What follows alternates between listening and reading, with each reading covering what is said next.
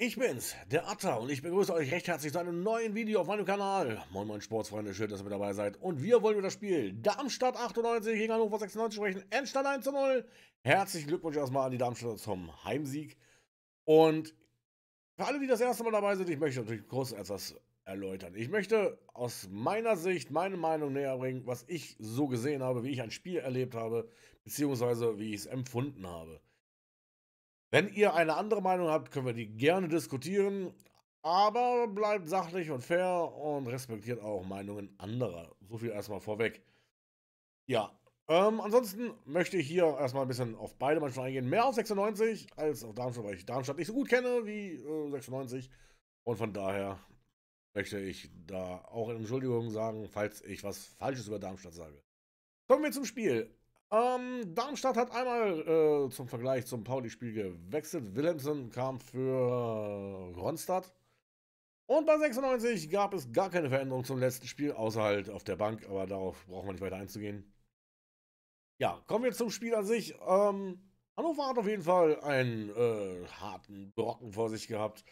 Und ich muss wirklich sagen, Darmstadt war über das gesamte Spiel reifer abgeklärter, eingespielter, zweikampfstarker, laufbereiter und äh, in allen Belangen eigentlich überlegen. Warum die nur 1-0 gewonnen haben, das weiß Darmstadt wahrscheinlich nur selbst. Ich weiß es zumindest nicht. Weil äh, Chancen über Chancen hatten sie gehabt. Aber wir dröseln alle so ein kleines bisschen auf und dann wollen wir mal schauen, was am Ende bei rauskommt.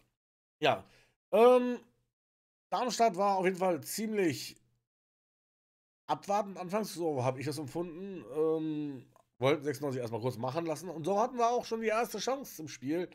Und wenn Harvard Nielsen dort einfach quer liegt, anstatt abzuschießen, da hat Schuhen super gehalten, dann könnte Mitte vielleicht jemand gestanden haben, der einschiebt. Und dann hätten wir ein anderes Spiel gehabt. So, das war ungefähr äh, so die einzig richtig starke 96-Aktion offensiv. Ansonsten muss ich sagen, ähm, ich hätte bei 96 ein kleines bisschen was anderes erwartet. Also zumindest aufstellungstechnisch. In den letzten Spielen ist es immer wieder aufgefallen, also ich weiß nicht, ob ich das so sehe oder falsch empfinde, dass gerade in der Mitte, zentral im Mittelfeld, ein Riesenloch ist zwischen Mittelfeld und Sturm, sodass der Sturm halt auch kaum vernünftige Bälle kriegt und nach hinten, ja, ähm, es verwundert mich auch nicht, dass sie heute verloren haben, weil Darmstadt einfach, also wenn die so da aufsteigen sollten, und davon gehe ich mal ganz stark von aus, und die Mannschaft zusammenhalten können, dann denke ich, dass sie einen interessanten Aufsteiger haben könnten. Denn äh, ja, die Spielanlagen und die Eingespieltheit ist auf jeden Fall schon ziemlich äh, groß und stark. Und auch die Reife der Mannschaft zeigt, dass sie auch in brenzlichen Situationen immer wieder da waren. Und 96 hat es nicht geschafft, den Ball mal spielerisch nach vorne zu kriegen.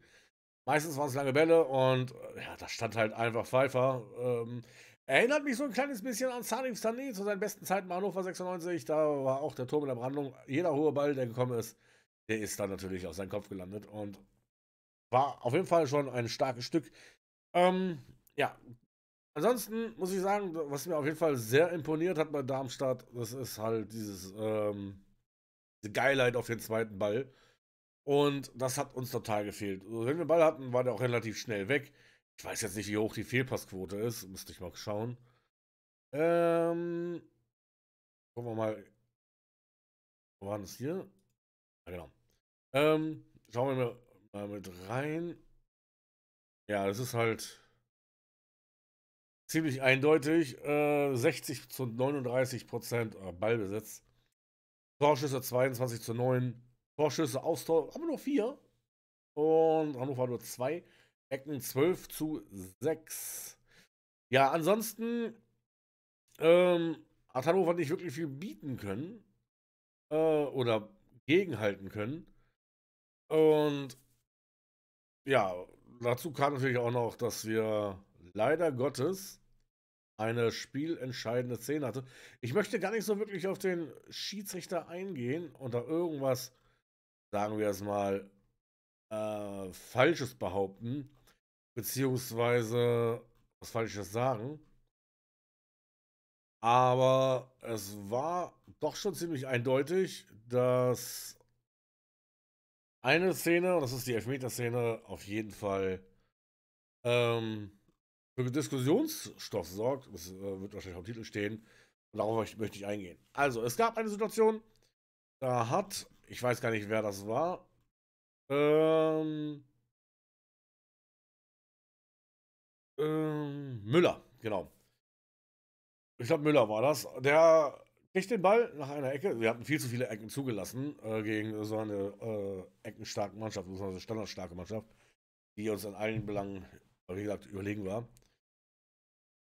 Und äh, der schießt und Neumann geht so in den Ball, vergrößert so ein bisschen seine, seine äh, Fläche und der geht dagegen und ja, wäre eine freie Schusschance gewesen. Und ja, leider Gottes äh, ging es dann raus. Cortus ging dann äh, durch den VR nochmal nachschauen. Gibt euch den Elfmeter. Mit dem brauchen wir gar nicht reden. Das ist auf jeden Fall in Ordnung.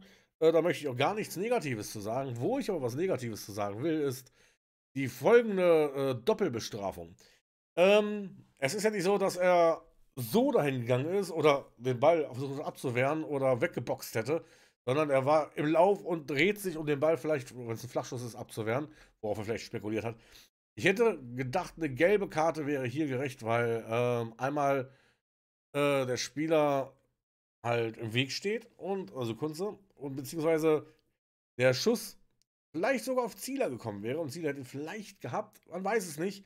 Allerdings muss ich sagen, dass eine rote Karte hier total überzogen ist und dadurch war das Spiel natürlich mehr oder weniger in eine bestimmte Richtung, nennen wir es mal, geschoben, gekippt und äh, natürlich zu Darmstadt-Seiten und leider Gottes äh, gab es dann diese Elfmeter dann mit roter Karte. Aber Zieler, Bombe, einfach Bombe, wie er den gehalten hat.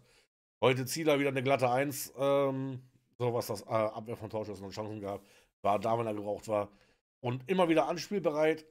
Auf der Gegenseite Schuhen, durch diese Glanztat, er hat nicht viel machen können. Äh, Gebe ich eine 2, weil er nicht so viele Chancen äh, auf sein Tor hatte und nur eine wirkliche Torchance vereiteln musste. Waren auf jeden Fall so äh, bockstarke Torhüter wieder mal. Ansonsten hat mir bei 96 nicht gefallen, dass RB eigentlich mehr oder weniger durch Köhn alleine gelassen wurde, wieder mal.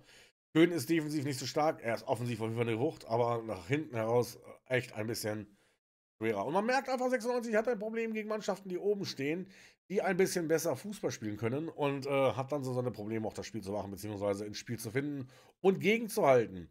Und darum hat 96 auch in meinen Augen heute zu Recht verloren. Ähm, ja, und bei, bei Darmstadt, also schon echt äh, genial, was sie auf dem, äh, auf den Platz bringen.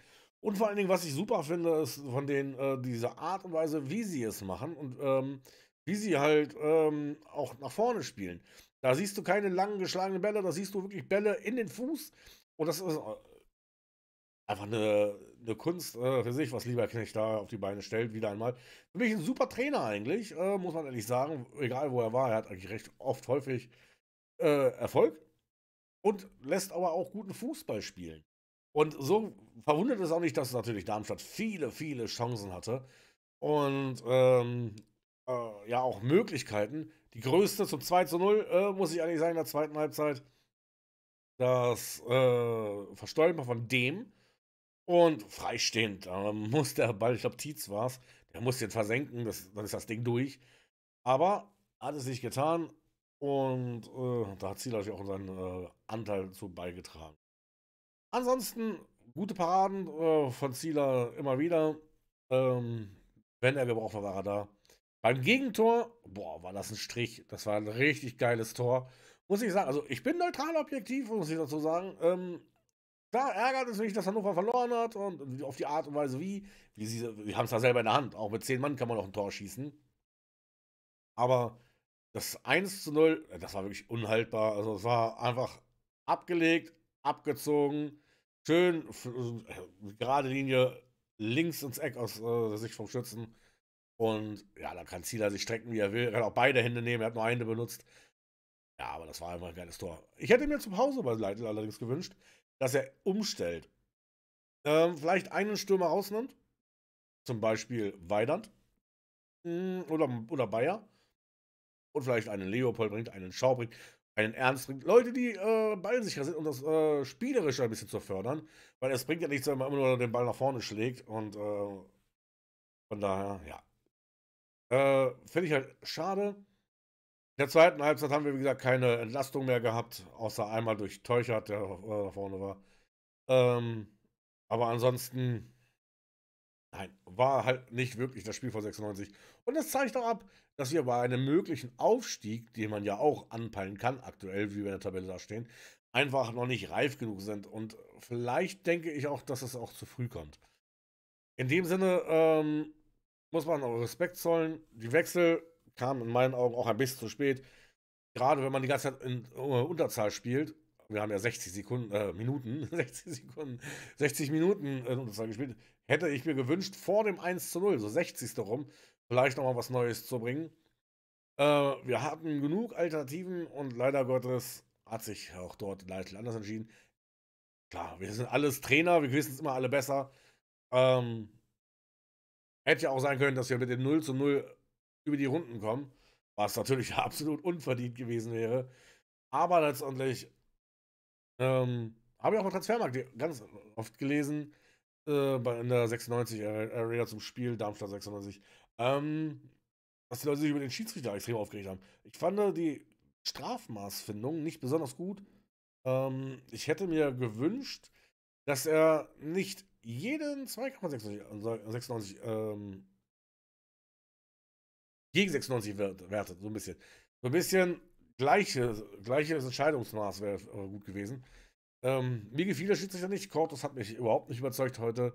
Die nachher mal einen schlechten Tag haben. Er hat schon bessere Spiele gezeigt als Schiedsrichter. Da will ich jetzt gar nicht weiter rumhacken. Am Ende lag es nicht nur am Schiedsrichter, ähm, es lag an vielen verschiedenen Faktoren. Und ich hoffe, dass wir das gegen Kiel dann äh, besser machen. Und ähm, im Auswärtsspiel haben wir noch ein anderes Spiel, weiß ich gar nicht mehr genau. Bin jetzt nicht so ganz auf der Höhe. Schauen wir mal schnell nach. Termine, haben wir noch ein Heimspiel? Düsseldorf, stimmt, Düsseldorf, oder die Fortuna kommt. Unser äh, vermeintlicher Lieblingsgegner, am Dienstag sogar schon, ja, ja.